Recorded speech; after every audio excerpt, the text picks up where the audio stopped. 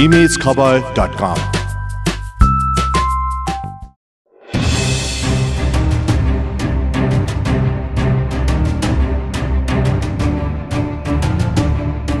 पूर्वी पहाडकी रानीको उपमा पाएको इलाम अहिले सरकारले गरेको लकडाउनका कारण सुनसान देखिन्छ।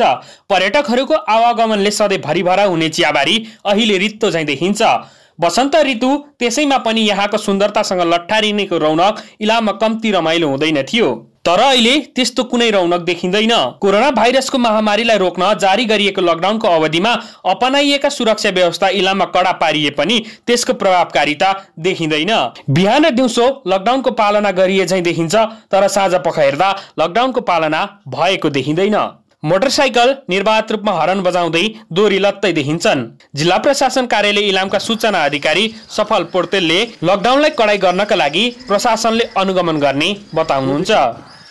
निश्चित पनि यो चाहिँ मानवीय व्यवहारसँग जोडिएको विषय भएकोले गर्दाखेरि यो केही चुनौती त छ। तर इलामको सन्दर्भमा यहाँका सचेत नागरिकहरू हुनुहुन्छ। यो जिल्ला अलिक सचेत नागरिकहरू बसेको जिल्ला पनि भएको सन्दर्भमा लकडाउन पूर्ण रूपमा कार्यान्वयन भएको छ। कतिपय हस्पिटल अस्पताल आउने जाने सन्दर्भमा र अन्य अत्यावश्यकीय विषयमा केही फाटोफुट सवारी साधनको आगमन आगमन भए पनि लकडाउन हाम्रो अपेक्षित रूपमा पालना भएको हामीले पाएका छौँ। त्यसो त समाचार सङ्कलनमा खटिने इलामका सञ्चारकर्मीहरूका लागि न्यूनतम सुरक्षा सामग्रीको समेत अभाव छ। लकडाउनको अघि र पछि समयमा खुल्ला सीमाबाट ठूलो संख्यामा नेपाली कामदार भारतबाट भित्रिएका थिए। जसका कारण यहाँका इलामेलीहरूमा थप त्रास बढेको पाइन्छ।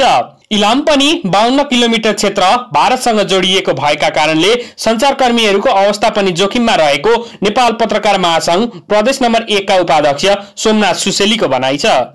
हजुर अहिले यो कोरोना भाइरस कोभिड नाइन्टिनको यो सन्दर्भमा सङ्क्रमण फैलिराखेको अवस्थामा विश्वव्यापी रूपमा महामारीको रूपमा छ।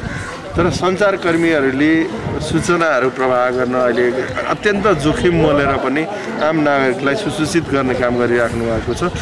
तर त्यसमा जोखिमहरू धेरै हुँदो रहेछन्। कतिपय सूचनाहरू विश्वसनीय नहुने त्यसलाई भेरिफाई गर्न जानुपर्ने। त्यहाँ जाँदाखेरि लकडाउनलाई पनि चाहिँ हामीले पालना गर्दै दूरी पनि कायम गर्दै जानुपर्ने र जाँदाखेरि कतिपय समूहमा पुग्नुपर्ने भएको हुनाले त्यहाँ चाहिँ अत्यन्त जोखिम देखियो पत्रकारहरूले त्यो जोखिम मोलिराख्नु भएको छ। महामारीको रूपमा फैलिरहेको कोरोना भाइरसको रोकथामका लागि जिल्लाका विभिन्न स्थानमा औषधि छर्कने काम पनि भइरहेको छ।